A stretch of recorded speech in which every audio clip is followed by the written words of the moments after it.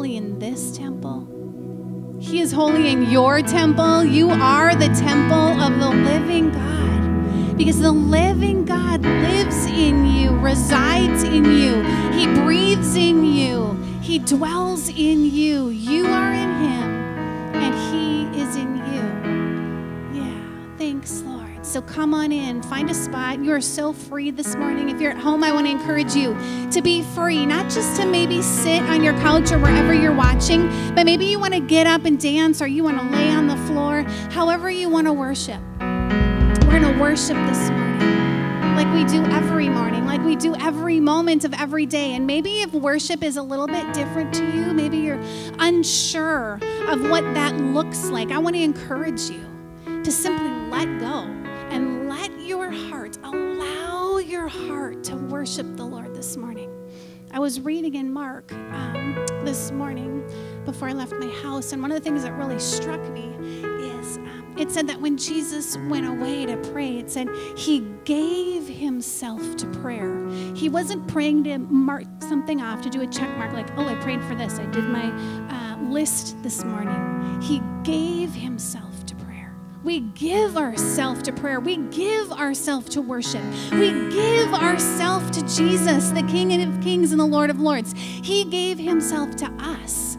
And so we give ourselves to Him as an offering. We say, Yes, Jesus, even now, you can allow your worship just to erupt. Allow come out of your heart, out of your mouth, out of your body, out of every pore. Jesus, we lift you high. We give you ourselves, God, in worship and in praise. We give ourselves to you, King of kings and Lord of lords. You are the holy, holy, holy one, God of heaven and earth. The whole earth is full of your glory, and we will worship you, God, today in spirit and in truth, every moment of our lives. Bless you, Jesus. Bless you, Jesus. Let's continue worshiping. Before I call, before I ever cry, you answer me from where thunder hides, and I can't outrun this heart I'm tethered to. With every step, oh, I collide with you.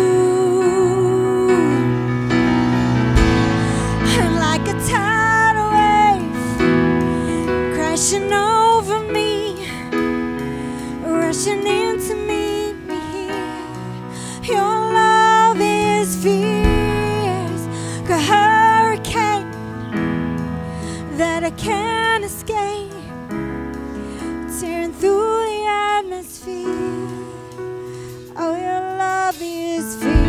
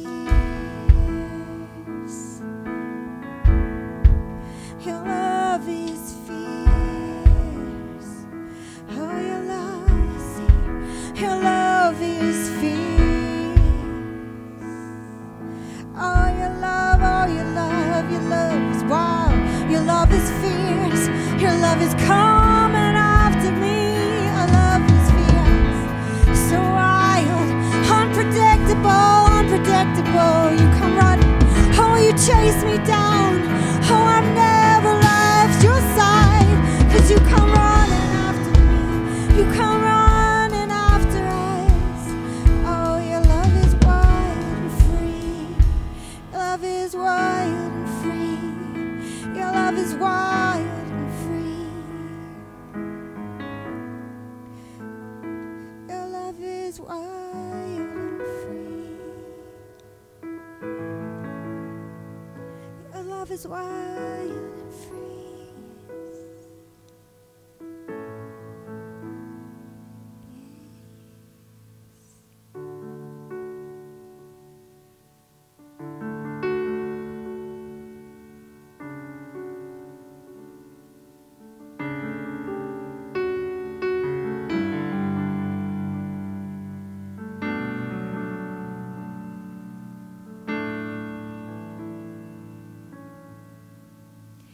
Your presence is all I need, all I want.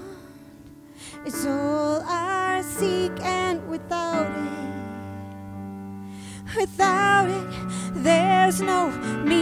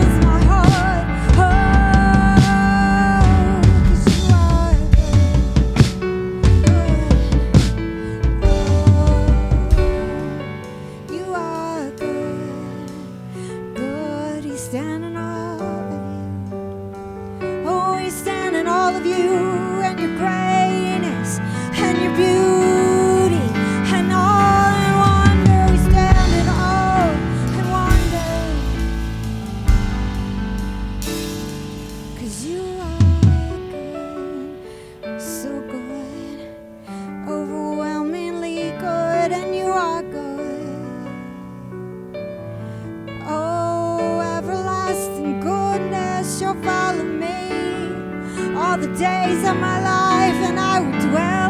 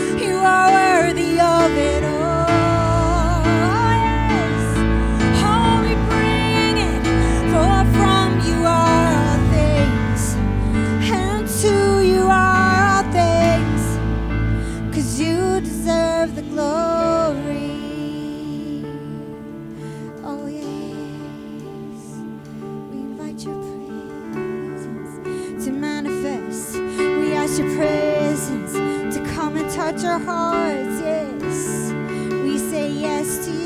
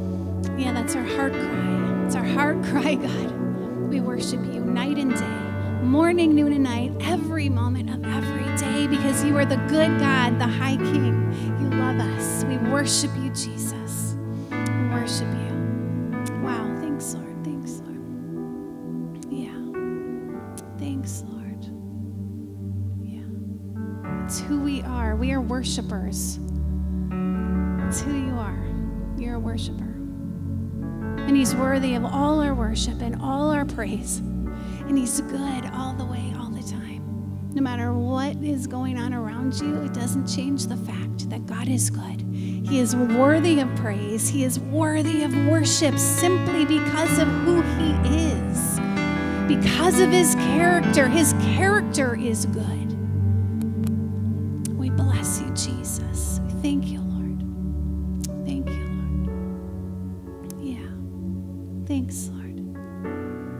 Honor your presence here, Holy Spirit. We thank you that you are with us.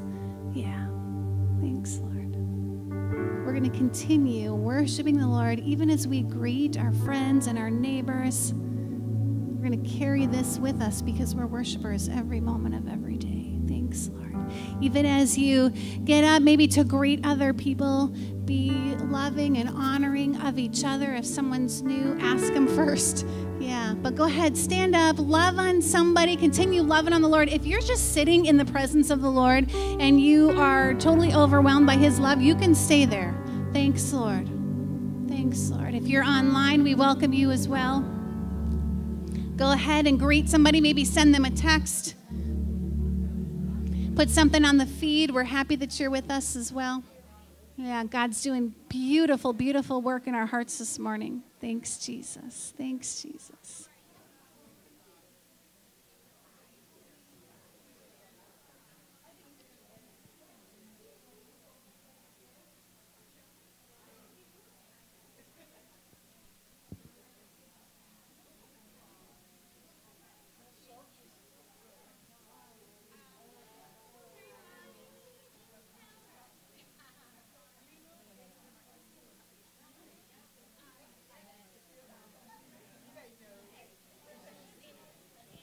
You're online wondering what we're doing, we're being family. This is what family does. We're the family of God. So we're loving on each other, encouraging each other, speaking truth about who we are. Thanks, Lord.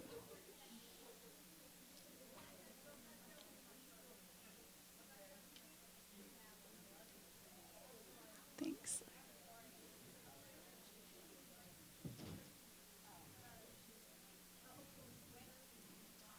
In just a moment, we're going to stand up and declare some good things over our tithes and our offerings. And I want to remind us just like we carry worship everywhere we go, our giving is an act of worship. When we give financially, when we give our love, when we pour that out on people, when we give prophetic words, when we declare and pray over people, when we give eye contact, love on people. Yeah, so much beauty going on back there. Be in the family of God. So, so beautiful. If you are new, we want to welcome you this morning. So good to have you. There is no compulsion to give in the offering this morning. We just want to welcome you to receive all that God has for you. But let's all stand. We're going to declare again the reason that we declare truths over our tithes and our offerings in just a moment here. Um, there it is. The reason we declare is because there's something that happens when we say it out loud. We can believe in our hearts, but there's something that happens when we actually say it. You can believe someone um, when. I take that back you can say that you when when you love someone this is what i'm trying to say. When you love somebody you can just love them but when i tell you i love you and then i act it out something happens in that person's heart where they really begin to believe you. This is what jesus did. He came he declared and he gave his life. When i say teresa i'll love you like crazy and then i do things that are loving it's that combination of knowing and speaking and doing yeah, that makes it come alive. So here we go. Let's declare this together. I declare that God is good and is a rewarder of those who earnestly seek him. He is a great father, and I am his daughter. His love for me is unconditional, unsearchable, unbiased, and endures forever. He gives an abundance of overflowing. His plans for me are always good. His thoughts toward me are always full of love.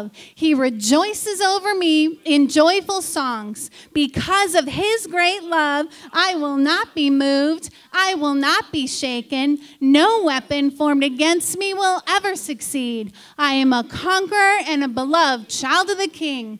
I am empowered, strengthened, purposefully designed, and strategically placed right where I am to impact the kingdom of God, bringing heaven to earth, spilling God's favor, good news, and goodness to all nations covering the earth. Amen, amen, amen. Yeah, thanks, Lord. Yeah. Aren't you just so glad? You go ahead and take a seat. Our ushers are coming around. If you gave your offering up here, so beautiful that we get to worship the Lord. Give Him, yeah, give to Him every moment of every day. I was just going to say, aren't you so glad that you can do a redo? Sometimes you have something in your head and it just doesn't want to come out of your mouth for whatever reason. Yeah, and you can just repeat it. It's beautiful. So thanks, Lord. Yeah, thanks, Jesus. Now, well, we'll let them do it back there. Our pastor's going to come and give a good word. Thanks, Lord.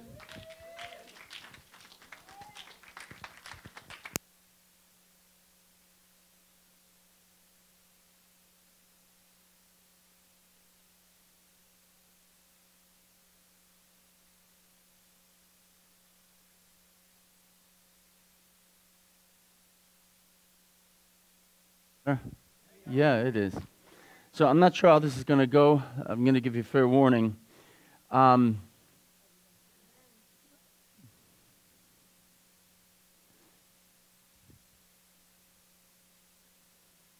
we say this often, but I think we have to continue to remind us of that church is not where people come together and just hear something that they like to hear. If church becomes a place where all we do is just come to hear something that we like to hear, and in the end we walk out and nothing changes, then we have to ask ourselves why did Jesus come? Jesus didn't come to make a church or make a building, He didn't come to have people just gather together.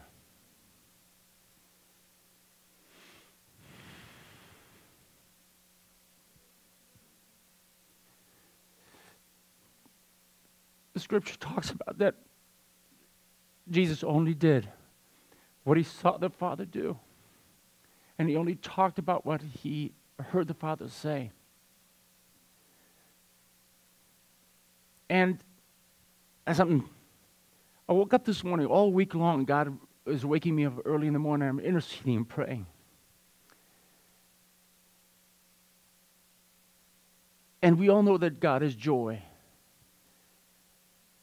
But He's immensely saddened by what His church is not comprehending.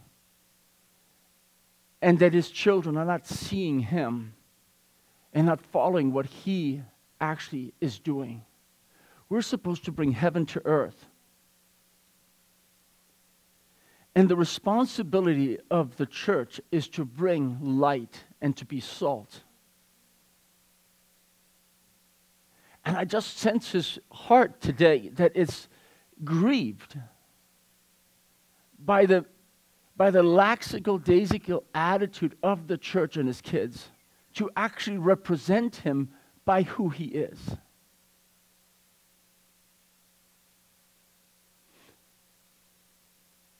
And I, I had something totally different prepared for today, but obviously we're not doing that. So I find it interesting. He, took me uh, uh, this morning to Genesis chapter 1 and says, In the beginning, God created the heavens and the earth. Now the earth was formless and empty. Darkness was over the surface and deep dark. And the Spirit of God was hovering over the waters. And then it says, And then God said, Let there be light. I believe we're in a situation exactly the same where God says, I need you to be light, not darkness. You're not here to partner with light, uh, with darkness. You're here to partner with light. And then he brought me to this other uh, verse that I'm going to read, and I want to give you the, the somehow the connection to this. If you, uh, if you read in Genesis chapter 4, there's a happening. The first of all on all earth that happened but it had a profound influence on earth. Then the Lord said to Cain, Where is your brother Abel? He said, I don't know, he replied.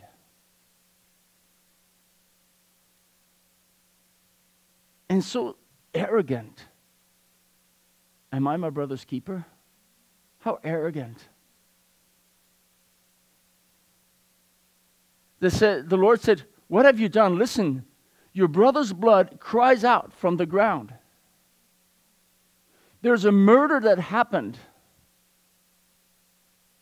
There's a murder that happened, and he says, Your brother's blood is crying out from the ground. The earth is saturated with the blood of his brother, and is crying out. And then this is what God says Now you are under a curse and driven from the ground, which opened its mouth to receive your brother's blood from your hand. When you work your ground, it will no longer yield its crop for you. You'll be restless wanderer on earth. And I believe that's a prophetic word. I don't know how to do this, but I'm going to do it anyway.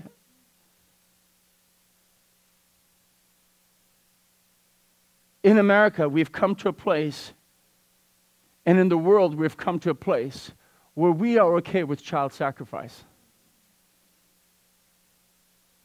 We call ourselves believers, and we are okay with child sacrifice. And I believe that's the most egregious sin. That is where in 400 years, when Abraham was going to the land, he says, the sin of the Amorites has not yet reached its full potential. And one of the things they were doing is child sacrifice. How is it that America, that was chosen a land by God, we've come to a place where there's a disagreement in the church about child sacrifice? And how is it? And the only time the sins have to become to a place and a level where they are exposed.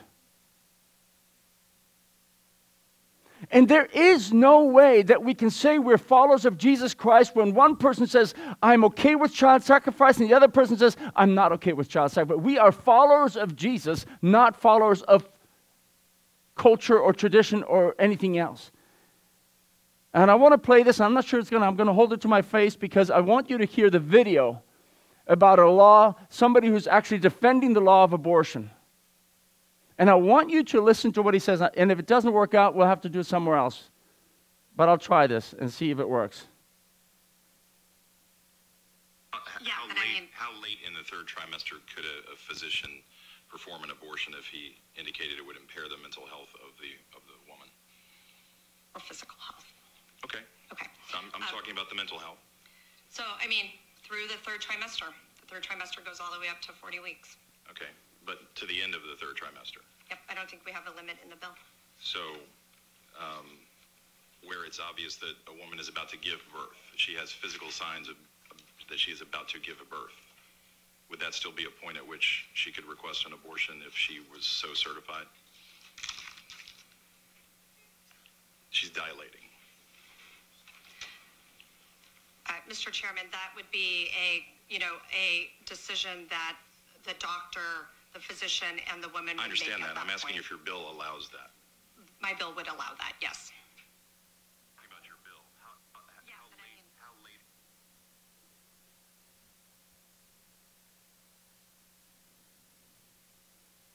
how? How have we come so far? And I'm not grieved by that. We call ourselves American, the land of the free and we've allowed the devil to take hold. And we're sitting in a church, and the blood of American ground is crying out for justice. How is it that we're okay with that? How is it that we are okay with that? That the land that was actually built on godly principles got hijacked because the church wasn't living out what it was supposed to live out.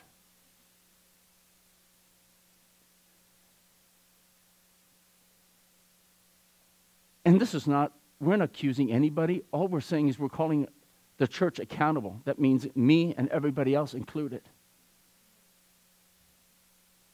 This is not a blaming. I really felt that the Lord has called, called me into his confidence and he said, Do you want to know what I'm doing? Do you want to see what I'm doing? Do you want to hear what I have to say?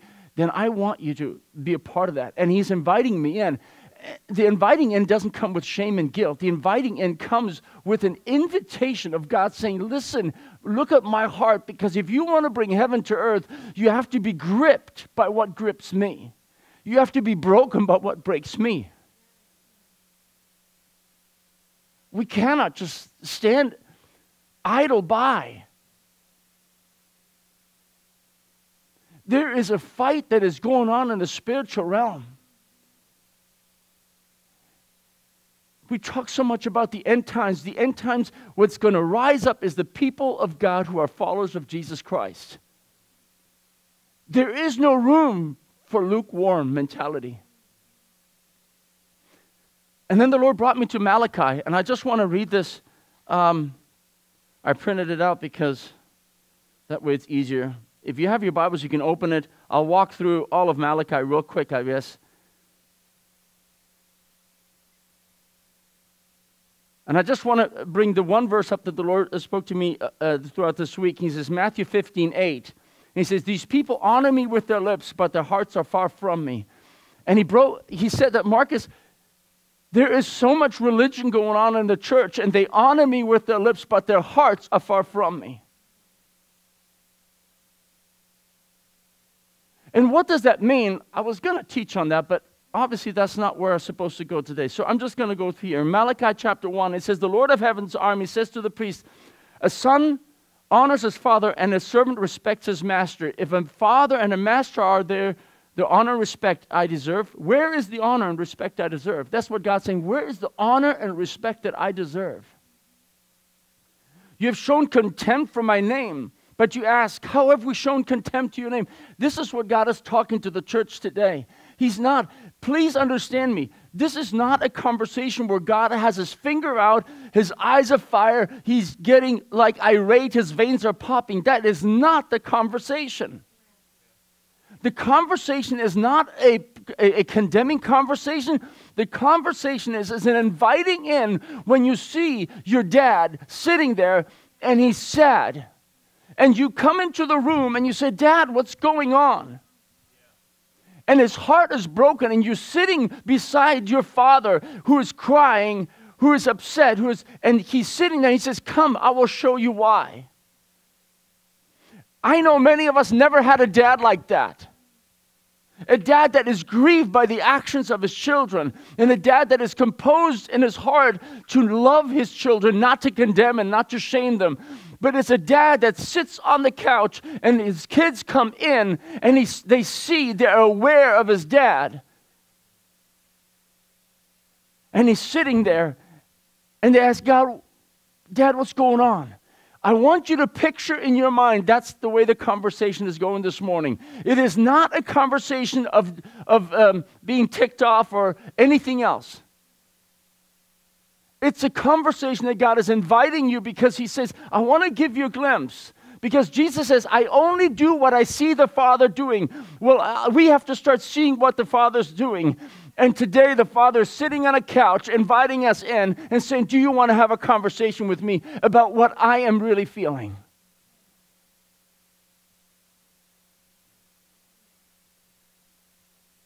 He says, You have shown contempt. How have you shown contempt for your name?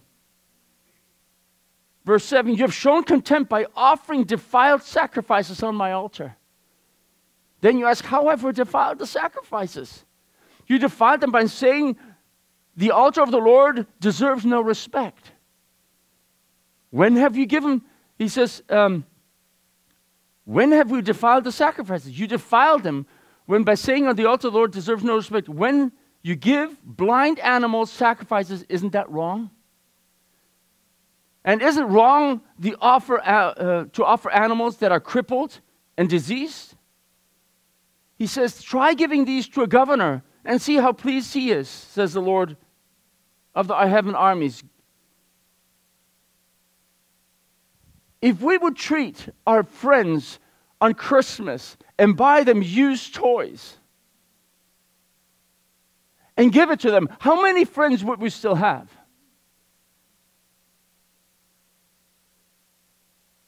If you give your employee just the rest of your, you know, not even the best, but just maybe 10% of your ability, how many of you would still be working?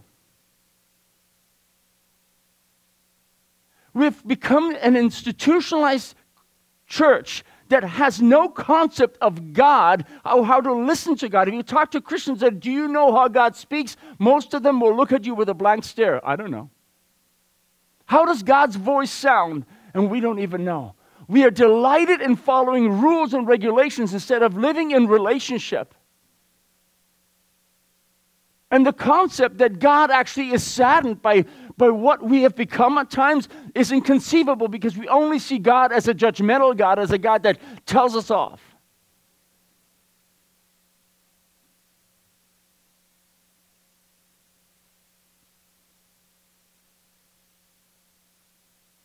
If we would treat our best friend the way we treat Jesus, I don't think we would have best friends.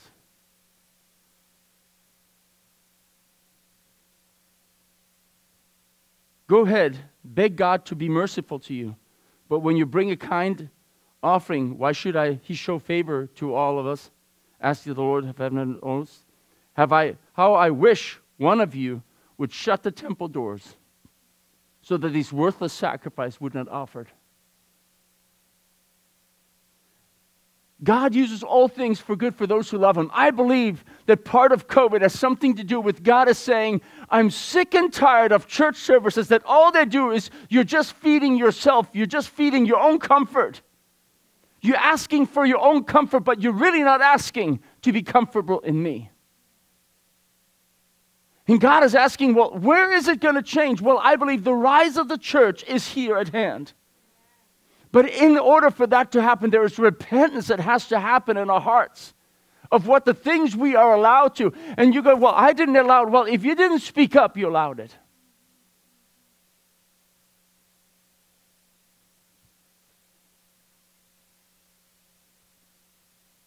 How I wish one of you would shut the temple door so that these worthless sacrifices could not be offered. When I'm speaking, I'm not speaking in a judgmental way at all about churches. I'm talking the church in general. We have made church a theatrical expression and an experience where worship teams are amazing, where teachings, our presentations are amazing where art is just phenomenal. And we choose churches by the best presentation, like a theatrical experience. And the more theatrical and the more pump it has, the more people flock to it. And the question is how is that what God is feeding you actually amplifying in your life? How's it changing? That this nation and many other nations in the world look at child sacrifice as it's okay. How can we look on that the family is being destroyed and we say it's okay? How can we look on and say that that what God created male and female can be destroyed by the enemy? How can we look on? How can the church look on? If we say we love people, why would we allow that? That's why the Father is sad. He said to bring heaven to earth. That means we have to bring heaven to earth. That means we have to start speaking up. We have to start loving people. Not just come and be in a group of people and then go back home and not talk to anybody. But my name is, and I love this, he still says this, but my name is honored by people of other nations from morning till night. There's still the churches, there's still the believers where God is being honored. And I believe, I pray that you are one of them. I pray that we are still one of them, that God is still honored.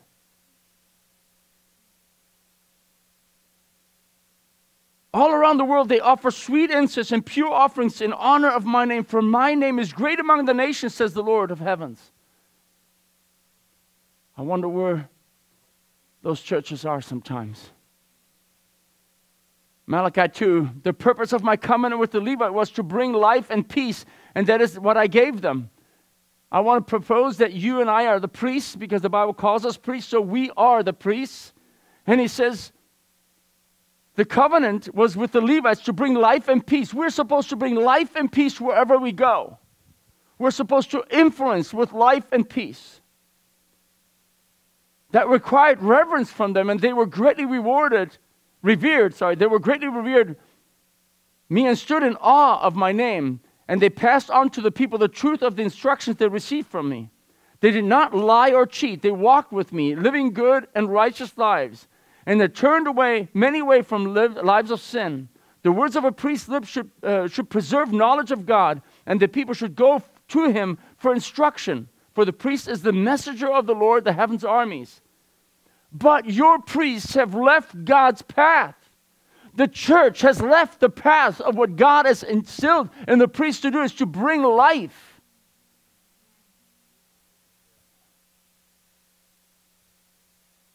We have aligned with the spirit, the demonic spirit of child sacrifice, of abortion, of uh, the gay and lesbian lifestyles. That's like normal today. Breaking down the family. We said it's okay. It's just, you know, so what? How have we come to that place? Your, your instructions have caused many to stumble into sin. You have corrupted the covenant I made with the Levites, says the Lord.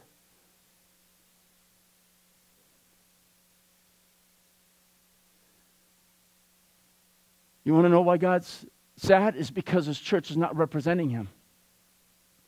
He says very clearly in um, Revelations.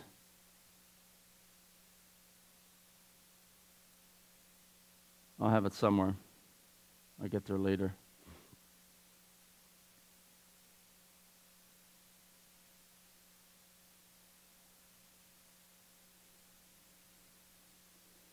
I want to have it. I'm on a search somewhere here. Since I'm not going by what I'm teaching, I just know the. I want to read it. Revelation 19:10.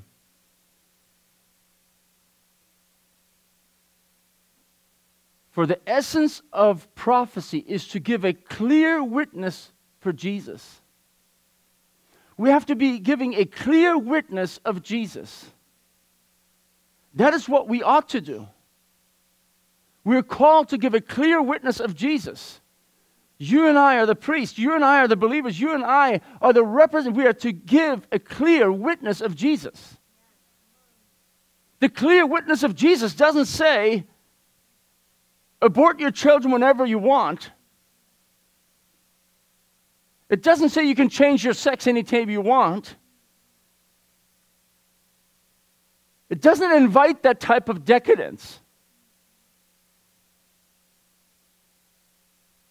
And there's many more.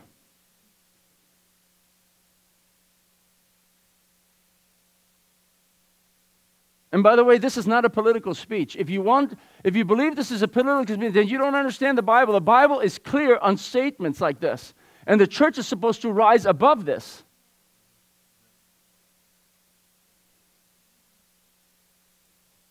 Malachi 2:13. Here's another thing you do, he says. You cover the Lord's altar with tears, weeping and groaning because he pays no attention to your offerings and doesn't accept them with pleasure. Why would God say, Yes, I want to answer you when we are actually promoting child sacrifice? Why would God answer anything if we're promoting that He didn't create us in the beginning, male and female, that He, that he kind of messed it up?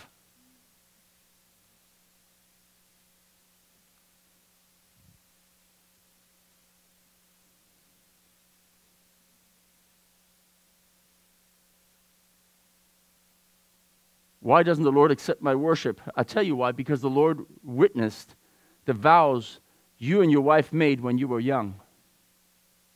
But you have been unfaithful to her, though she remained faithful to your partner, the wife you married, uh, the wife of your marriage vows. Didn't the Lord make you once with you, one with your wife? In body and spirit, you are His. And what does that mean? Uh, uh, what does, and what does He want? God, godly children from your union so guard your heart, remain loyal to your wife and your youth. For I hate divorce, says the Lord, the God of Israel. Do, to divorce your wife is to overwhelm her with cruelty. The church has fallen off the cliff.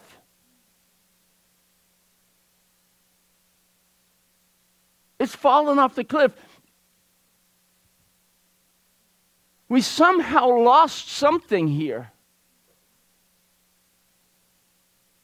And when we're really interested in bringing heaven to earth, like, the, like Jesus taught his disciples to, to pray, he says, to bring heaven to earth, we've got to find out what's going on up there. Ephesians says, We're seated in the heavenly realms. This is not a joke. This is true. You are. You have access.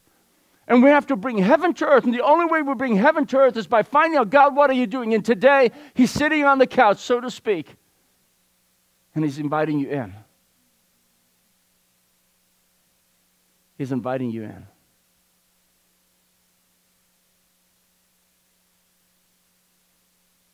You've wearied the Lord with your vows. You have wearied him by saying that all who do evil are good in the Lord's sight. Well, you know, what are we going to do with people who, who just, you know, poor people who are, you can't excuse child sacrifice. You can't excuse sin, decadency. You can't excuse jealousy. You can't excuse unforgiveness and bitterness. You can't excuse it. You can't.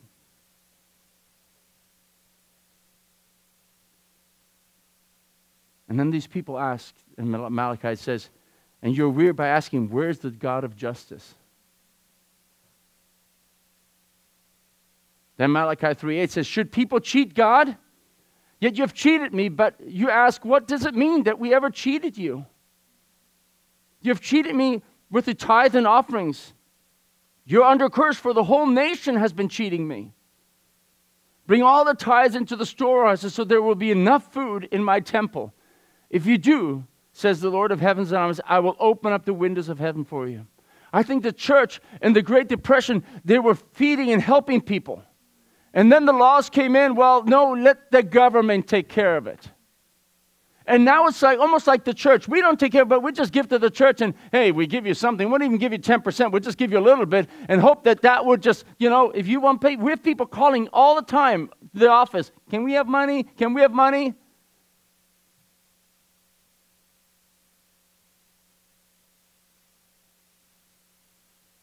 When is it that we can start taking ownership? And saying we did not represent Christ. The way Revelation talks about, we all owe people a representation of Christ. This is our fault. That America and the world doesn't see Jesus, it is our fault. It is not anybody else's, it's not God's fault. It's our fault that we didn't stand up. We didn't do our part. We chose to live in our comfort instead of in that what God has called us to do. We like our life to be just live in our house, have our car, go on vacation, have my money, have whatever I want to do. We want to live in our comfort. And millions of people are slaughtered, millions of babies are slaughtered left and right. And we just go, well, it doesn't touch me. All these filthy sinners are having abortions. All these filthy sinners, there's no love. We, we don't love them. We don't care about them. Our heart doesn't break. God created them, and our heart doesn't break.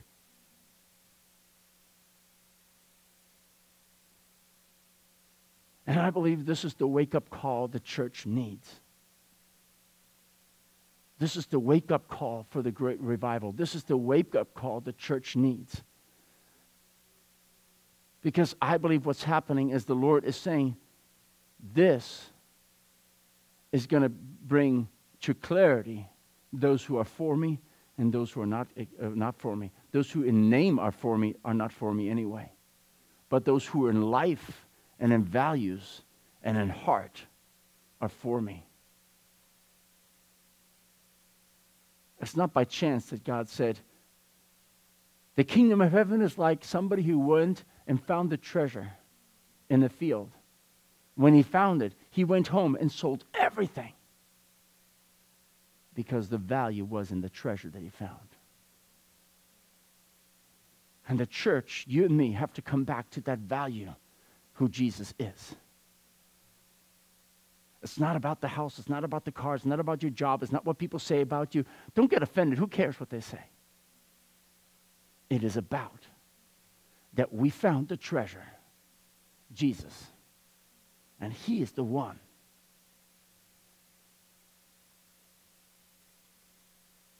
I will open up the windows of heaven.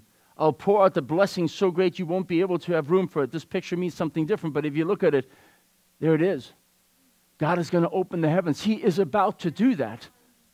And you're going to find the people He's doing it with are sold out for Jesus, and they're not sold out the way you think they are.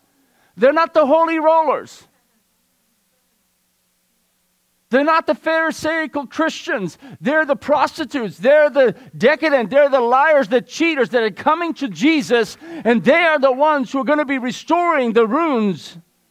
It's not the religious anymore. It's not the ones that have high positions, and plenty of those are going to be apart because they have those positions because they're honoring God. But it's not all of them.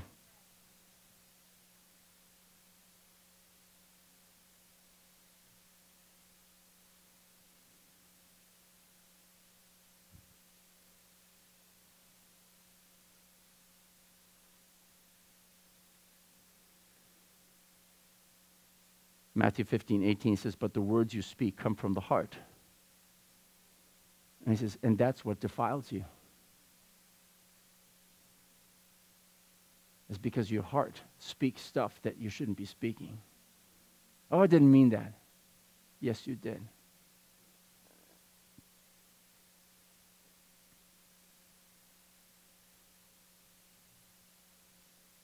Put me to the test. Your crops will be abundant, for guard them from the insects and diseases. Your grapes will not fall from the wine before they are ripe, says the Lord of heaven and armies. Then all nations will call you blessed, for your land will be such a delight, says the Lord of heaven and armies.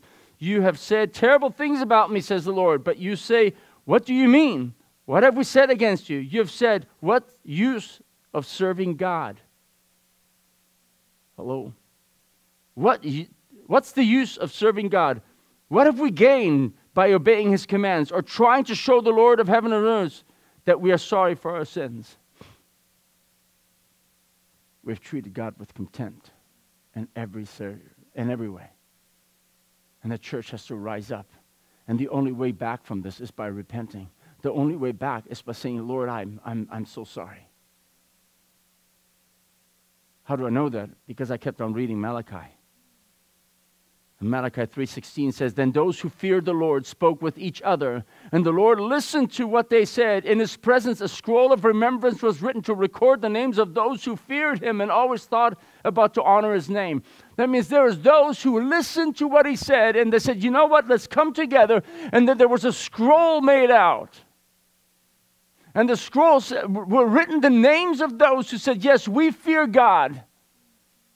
We want to do it again the way God says."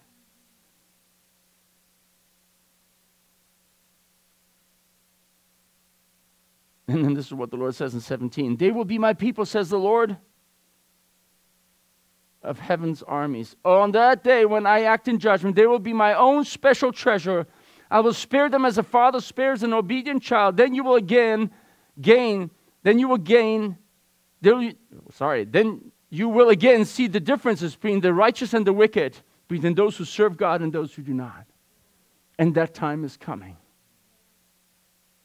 you'll see those who walk in the empowerment of the Lord Jesus Christ. And you'll see those who have name only. And we've been accustomed to those who are name only. In their house, they have In God We Trust. They have verses up the gazoo somewhere. Their car has a Jesus sticker on it. But their life doesn't resemble any walk with God in power. They may know all the Bible by heart, but their life doesn't resemble the power of the living God.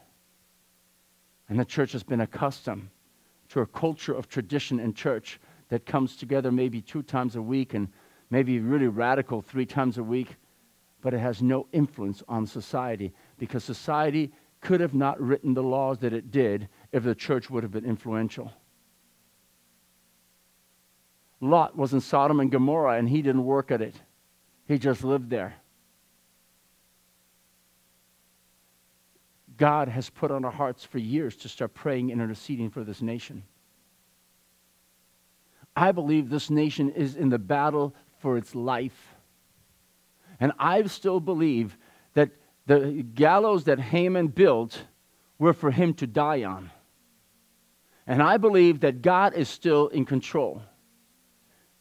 And when the enemy thought he had it all done and over, it's the only way to show the enemy's face when God turns it around, and I still believe he is. But he needs his church to stand ready. He needs his church to now start interceding, now start praying, now start interceding, not just for this. Because this election is not just about that, it's about America, about the culture, about your neighborhood, about your, uh, about your schools, about your job, about everything, about the culture has to start changing towards heaven to earth. And the church needs to start activating in such a way that we are all the John the Baptist going out and telling people about Jesus.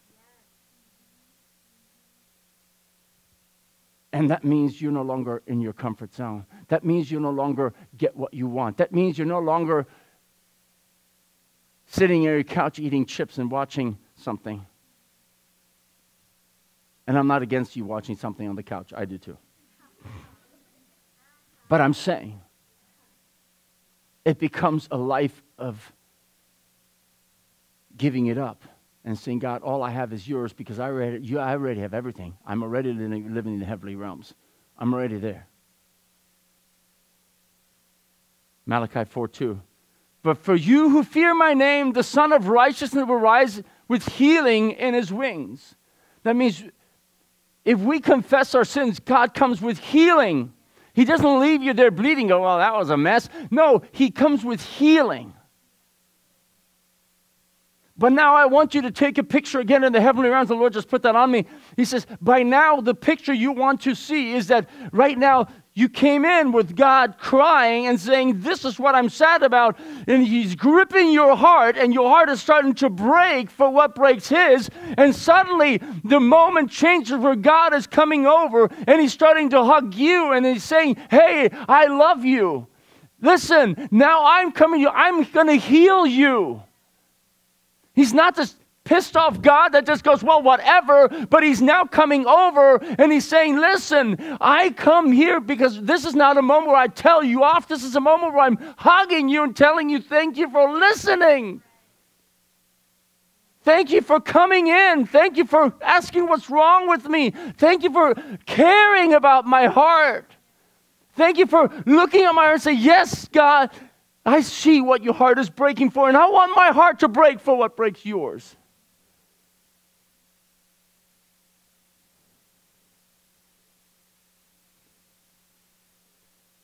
That is so important. It shifted now towards us. The shift is now God saying, My heart breaks for you now, but I'm going to heal you. And my righteousness is going to shine upon you. If you humble yourself, this is the, if you humble yourself, there's something, it's the most powerful thing in the universe is humility.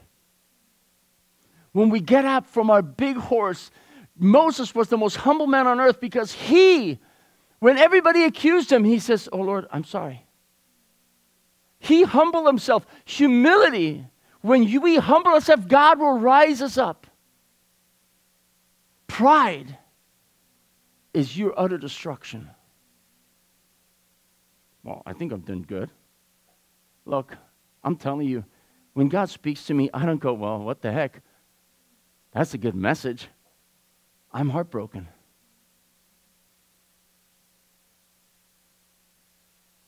And I go, God, what do you want to change in me? What is, what, where's your finger on?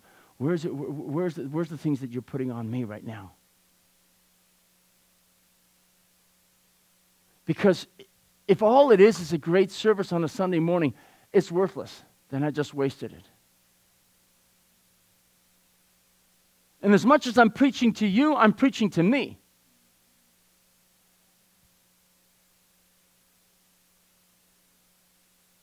And you will go free, leaping like with joy, like calves led out of pasture.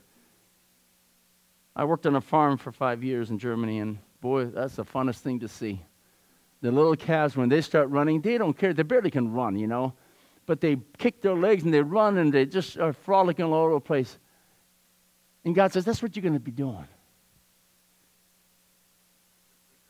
I love it when you go into the living room of God, when you come in there and you are interested in what God is doing and what He's saying.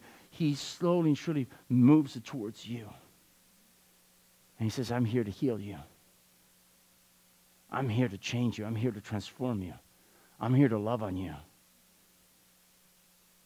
On that day when I act, you will tread upon the wicked as they were dust under your feet, says the Lord of heaven's armies. Remember to obey the law of Moses, my servant, all the decrees and regulations that I gave him on the Mount Sinai for Israel. Look, I'm sending you a prophet Elijah before the great day of dreadful day of the Lord arrives.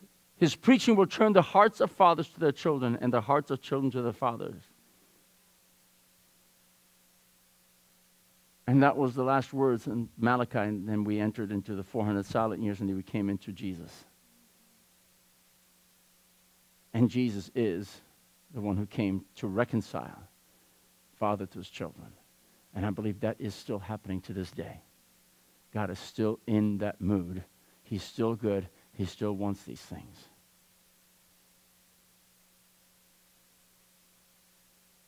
The question is are we ready to say to God, yeah, we want that too?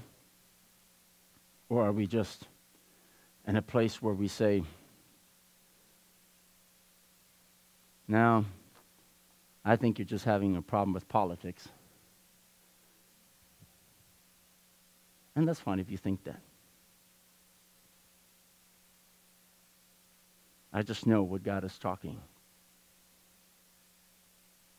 And I feel the church has to come to its senses and make decisions. God wants you to change the world. He already did his part. But he wants you to gravitate. He wants you to come to power that he designed before the foundations of the world you have. And when you enter into a relationship with him, that power starts becoming active. And it's time for us to become bold and say, God, I know that I like my comfort zone. I know I like my dreams, but I actually didn't sell everything. And I actually just visit the field where the treasure is. I just visited it. I visited actually two times a week. And then I run back and forth a couple times a day just to take a look at the treasure. But I don't live there. I don't see it more often. I don't kind of vaguely just look at it because I'm living more in my in my comfort zone. And what is God calling us to do is the question. I'm, I'm not here to convince you one way or the other. I think the Holy Spirit is very capable of talking to you. I didn't have this planned.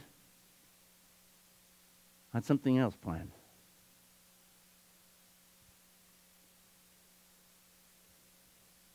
But I think we, as a church, the Bible says in the last days, you know, if you read in Revelations the different type of churches, there's the lukewarm ones. And it's a danger to be lukewarm. It's a real danger to be lukewarm. And God is calling the church to arise. And there's no apologies for that. There's no apologies. There's just a blatant, I'm moving this direction. And there's going to be plenty of offended people around you. And I'm so sorry if you're offended today. I'm so sorry it may not have been what you've expected it to be.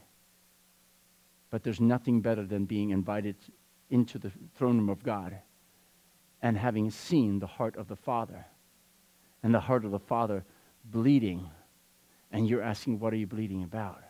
And Him sharing His heart concern. Not with a judgmental attitude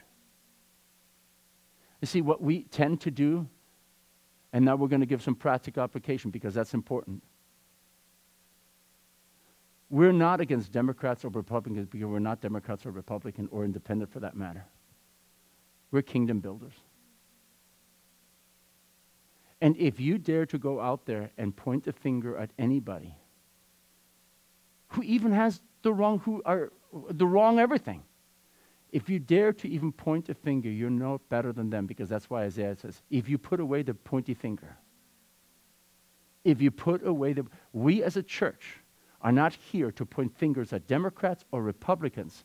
We're here to point fingers at ourselves where we need to grow. We need to learn to love more, to love better.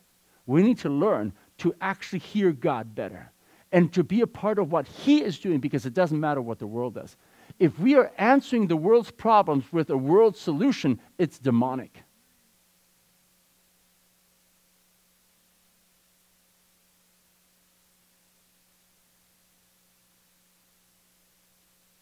I really believe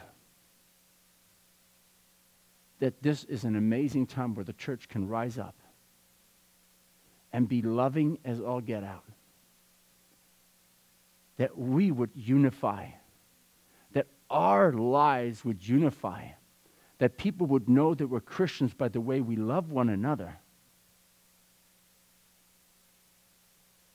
That we would unify under Jesus. And there would no more be division between what Jesus does in heaven and other people see him, because there's no two heavens, there's only one heaven. And that the church would grow to become this oneness. Chapter 17 in John, where he says that we are one, that the world will become like we are one.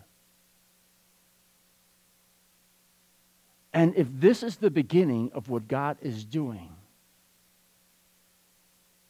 and then his thoughts are higher than our thoughts. And this had to happen this way, so everything comes to a boiling point. But God is not interested as much in the president as much as he's interested in you and personally about every single one of them. Are we getting his will? Are we seeing what he's doing? Are we into what he is doing? Not what's good for me, but are we into what he is doing? And if we're into what he is doing, that means seeking first the kingdom of God. Everything will be added. It doesn't matter how it looks outside, it doesn't matter. Because I am completely satisfied with my King and my Lord and Savior. I'm completely satisfied living out my destiny and purpose that is not dependent on a political scheme.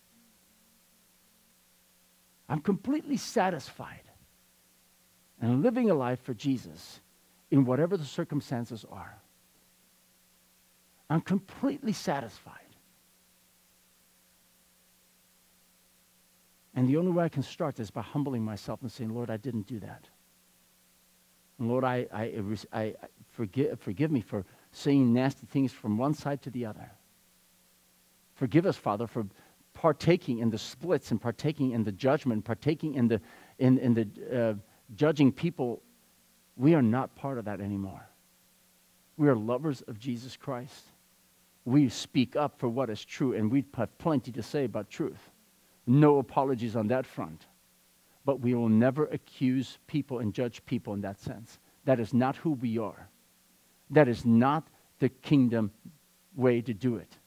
The kingdom way to do it is to love everyone. No matter who the president is, no matter who is in Congress, no matter who is in, no matter what your governor is, no matter who the cop is that pulls you over, you love them and you humble yourself, and He will rise you up. And that is what God is wanting to do with His church today. Are we going to humble ourselves so He can rise us up? Are we going to humble ourselves to the point where we say, okay, God, our sacrifices. Actually, we never did sacrifice. We just gave you our leftovers. I don't give you my heart. I give you what's left over, what I don't need. My tithes just don't even. It's like I pay you a tip. I'm tipping you, God. I'm not really giving you.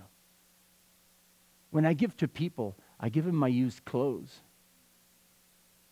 I don't go to some really nice expensive place to buy somebody some expensive clothes. I go to Walmart and Target and bless Walmart and Target but I just buy them the cheap clothes that I actually don't wear, but I just buy them so they're dressed. There's something about kingdom mentality that has to start changing in our hearts. How about the believers? When somebody needs clothes, we go to a real expensive place and buy them some expensive clothes.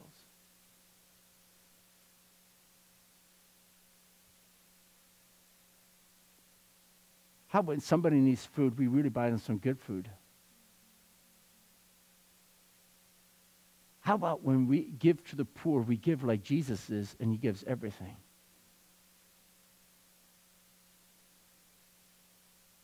How about when we give people, we give an abundance of overflowing? How about when we tip? We tip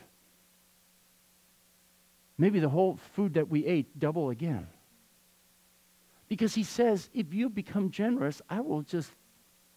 We're supposed to represent Jesus. Revelation, right? Let's represent Jesus. We're in the three percentile of the world living in America, and we act like we're the poorest people in the world with our finances.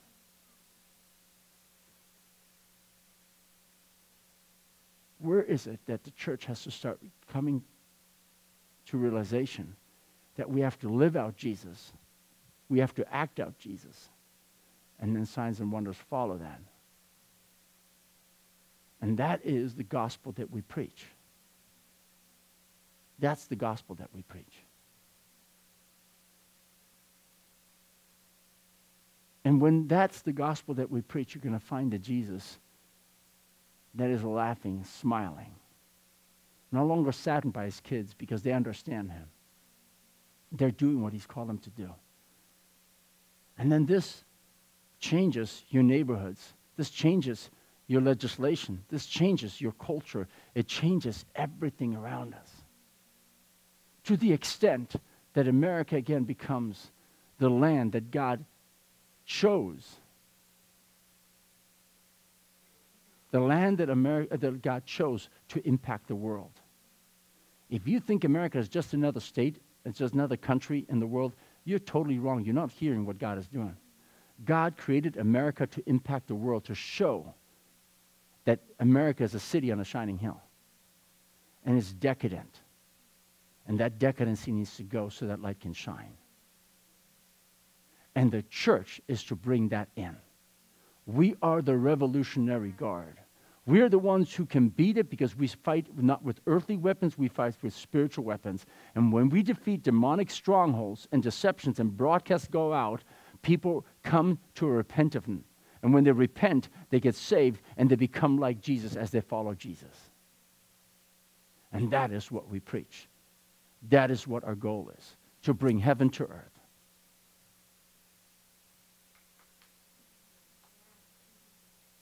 Lord, I just pray today that you would have your way, that this message was not something that I came up with, but you. And Father, you know the way you created me, my face always looks kind of upsetting and serious when I'm talking. But Father, I really love people and I really, um, I really want to represent you. And Father, I pray that nobody is turned off by the delivery as much as they hear your word. And I pray people who are watching online and whenever they watch it, Father, there'll be the right timing. And I pray right now, empower the airwaves to change people's lives under your power and your anointing. And Father, today is a, is, a, is a teaching like every other teaching, but this is again a teaching that comes from your lips to the hearts of men and women and children. And this would be a game changer again. That we are people who bring life, not death. And we're here, Father, to fight for the next generations to come. That America is a free America. That the world, the church, will fight for a world that is a God loving world. Father, that what is impossible with men is possible with God. And so we say, Yes, Lord, and we give you all the glory and praise in Jesus' name. Amen. God bless you guys.